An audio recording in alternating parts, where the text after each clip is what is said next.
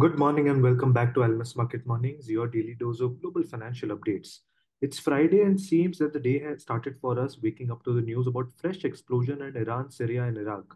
All of this has pushed gold back higher and of course a risk off sentiment has prevailed. Morning JK, I think not a good news to wake up to and of course this brings more uncertainty for the weekend. Uh, what's your thought? Uh, good morning, Swaraj. Uh, it's been a very tension-ridden start to uh, friend Friday trading, and uh, geopolitical ten tensions have definitely risen. Uh, reportedly, Israel launched missile strikes on Iran's nuclear program.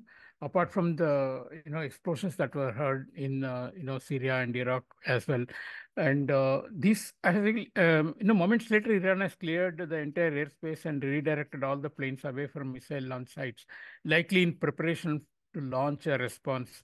See, till yesterday, uh, it was hoped that the diplomatic pressure on Israel would prevail and uh, there would be restraint on any response to what Iran did over the last weekend.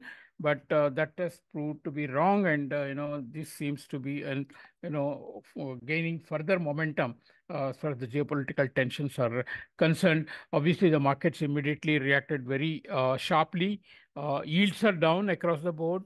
Uh, two-year uh, down uh, nearly 8 8 basis points, 10-year and 30-year are down more than 10 basis points. Um, gold is up at 2,410.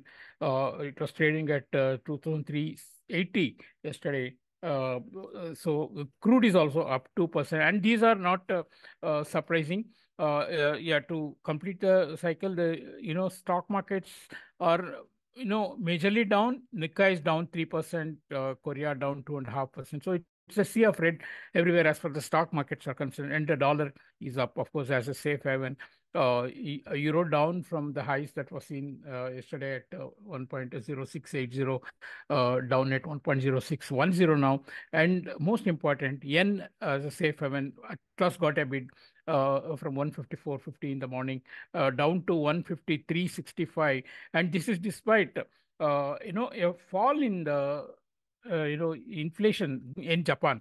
Headline inflation as well as the core inflation falling and coming lower than expected. So uh, now, uh, all the markets are taking cues only from the geopolitics and not so much from uh, the economic data.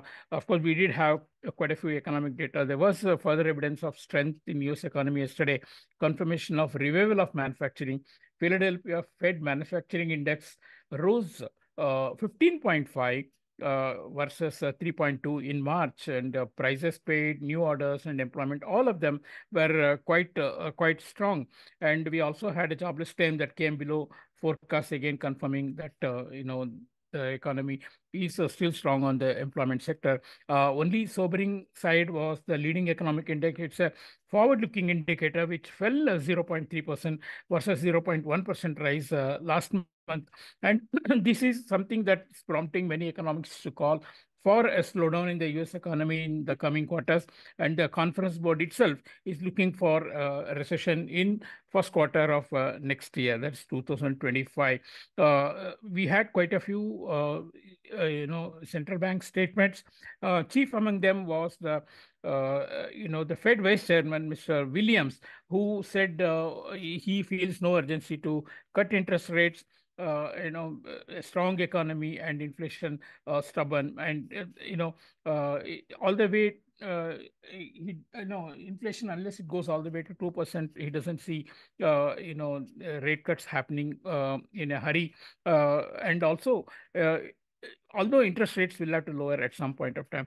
Uh, you know, most importantly, he also said that uh, while the rate hikes are not his baseline, uh, if data are telling us that we should hike interest rates to achieve our goals, then we would obviously want to do that. So this also was supporting the dollar yesterday. On the other side, uh, we had quite a few ECB members like uh, Mr. Villeroy, Mr. Knot, uh, and also one more member. They actually called for, um, you know, June rate cuts and that and the market expectations uh, were mentioned to be par for the course. Uh, so I think ECB is having some uh, you know, difference of opinion among the members. There are hawks and there have been doves. Uh, the president herself has been pushing for uh, restraint uh, or rather, uh, you know, uh, waiting and watching. Uh, yes, we, are still in April, mid-April, and uh, we have uh, two more months to go before that ECB also will have more inflation numbers uh, uh, to grind. Uh, we'll have we know that the crude prices have been going up. Eventually, even that may push eurozone inflation. So it's not a final word on the ECB rate cuts as well. So overall, uh, many factors are uh, working towards uh, dollar strength, of course, yen strength as well due to safe haven gold renewed surge. Of course, 2431, the previous high, will be a resistance. On the rupee, not much movement was seen yesterday. 83.50, of course, held very well, and we closed at a new all-time low. Of course, a marginal uh, low at uh, 50, uh, 83.54. Uh, PSU banks were mm, uh, uh, reportedly offering consistently, uh, probably at the behest of central bank.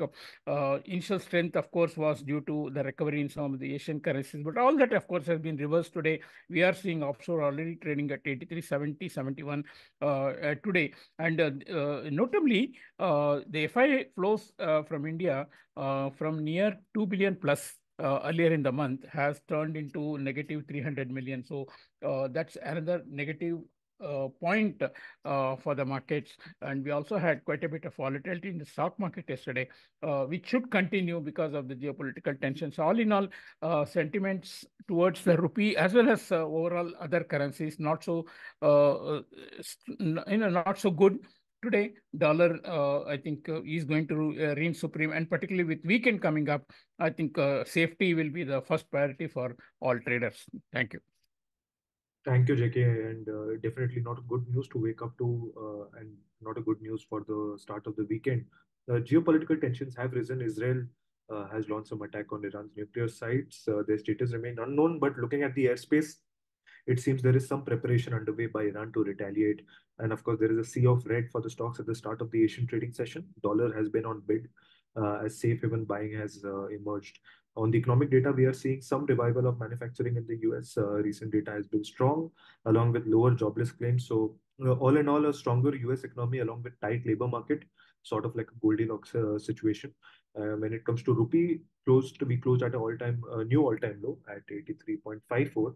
Uh, but the offshore already showing some weakness above trading above 83.70 as JK mentioned on the pre-open but uh, yeah, so that's uh, that's a concerning factor, and overall the global uh, sentiment also remains on the weaker end.